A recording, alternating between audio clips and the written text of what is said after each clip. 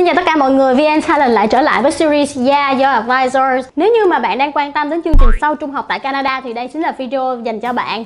Và đừng quên trước khi bắt đầu video này thì mọi người hãy tạm gác những cái kiến thức mình biết về hệ thống giáo dục của Việt Nam sang một bên nhé. Bởi vì hệ thống giáo dục của Canada và của Việt Nam là hoàn toàn không giống nhau. Thật sự là chúng ta sẽ không ngạc nhiên khi chúng ta thấy chữ college được dịch là cao đẳng và university được dịch là đại học. Tuy nhiên cách dịch này là không đúng. Chính vì vậy trong video này VN Talent sẽ giữ nguyên chữ college và chữ university để đảm bảo là không thay đổi về mặt ý nghĩa. Còn cụ thể lý do vì sao mời các bạn hãy xem video tiếp.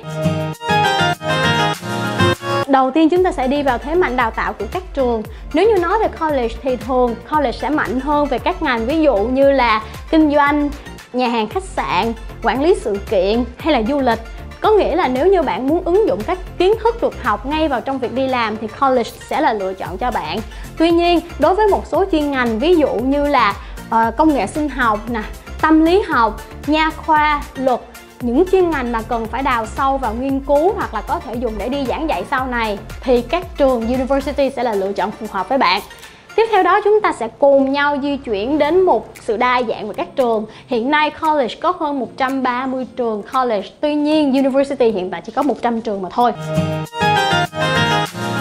Đối với chương trình đào tạo thì các trường college thường sẽ đánh sâu, đánh đúng vào các môn mà học sinh cần phải uh, dùng sau khi tốt nghiệp. Ví dụ như nếu như bạn học về nhà hàng khách sạn thì bạn sẽ có thể học là toán dành cho nhà hàng khách sạn, ứng dụng công nghệ cho nhà hàng khách sạn Tuy nhiên nếu như bạn học ở university thì một số một bạn sẽ phải học một số môn chung hơn ví dụ như là phương pháp nghiên cứu, phương pháp giảng dạy, phương pháp uh, tìm hiểu vấn đề như thế nào đó.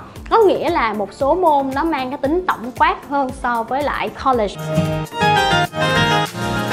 Nhìn chung thì học phí của các trường university sẽ cao hơn so với lại các trường college. Cụ thể là các trường college sẽ có mức học phí dao động từ khoảng 14.000 cho đến khoảng 18 19.000 đô ca uh, cho một năm học. Trong khi đó các trường university thì thường sẽ dao động trong mức khoảng từ 21 cho đến ờ, uh, 32 ngàn thậm chí là có trường sẽ là 35 nghìn đô ca cho một năm tùy theo chuyên ngành.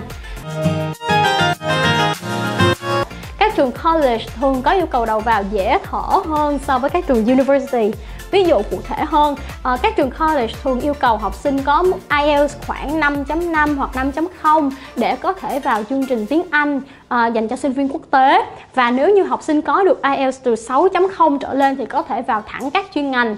Tuy nhiên, đối với các university thì bạn sẽ cần phải có IELTS ít nhất là 6.5 để vào được trường và thậm chí một số chuyên ngành còn yêu cầu IELTS 7.0 và một số ngành đặc biệt hơn thì yêu cầu học sinh sẽ phải phỏng vấn trực tiếp với trưởng khoa, trưởng bộ môn của môn học đó. Để khép lại video này, VN Talent sẽ nói về một vấn đề mà hầu như quý vị phụ huynh và các em học sinh nào cũng rất là quan tâm đó chính là ở lại sau khi tốt nghiệp. Chính sách ở lại sau tốt nghiệp không phân biệt bạn học college hay university mà quan trọng nhất là bạn sẽ phải học từ một trường được công nhận bởi chính phủ Canada hay còn gọi là các trường DLI. À, ờ, danh sách của các trường DLI sẽ được nhung đính kèm ở trong bài viết và mọi người đừng ngần ngại nhắc vào đó. Các bạn có thể thấy là college và university ở bên Canada không như cao đẳng và đại học ở bên Việt Nam của mình uh, nó thật ra nó chỉ khác nhau về học phí chi phí và cái mảng đào tạo chính của nó mà thôi. Nên không đồng nghĩa là các trường college tệ hơn so với là các trường university đâu nhé. Rất nhiều bạn chỉ học college thôi vẫn có thể tìm được các công việc rất là tốt và thậm chí ở các vị trí cao nữa. Còn nếu như bạn đang mục tiêu trở thành các nhà khoa học hàng đầu thì hãy tìm hiểu thêm một số các trường đại học university top đầu của Canada. Hy vọng rằng sau video này mọi người đã hiểu hơn vì sao college không nên dịch là cao cao đẳng và vì sao university không nên dịch là đại học và mọi người sẽ có thể đưa ra được quyết định chọn học college hay university tùy vào chuyên ngành của mình nhé Xin chào tất cả mọi người, hẹn gặp lại vào video sau. Bye bye!